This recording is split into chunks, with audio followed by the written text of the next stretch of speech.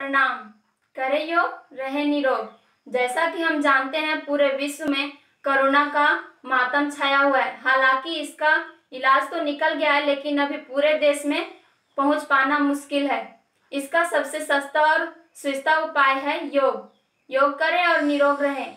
योग में कोरोना के तीन मुख्य योग हैं भ्रस्तिका कपालभाति और अनुलोम विलोम। देखें इसे हम कैसे करें। भ्रस्तिका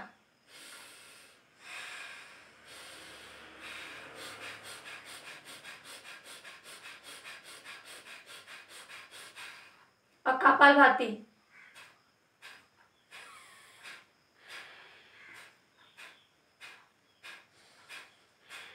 अनुलोम विलोम।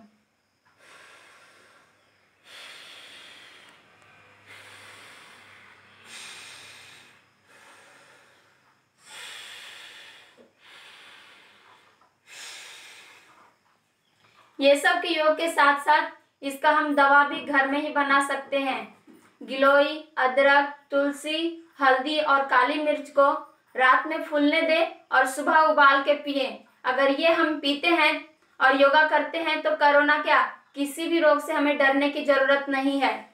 ओम, धन्यवाद।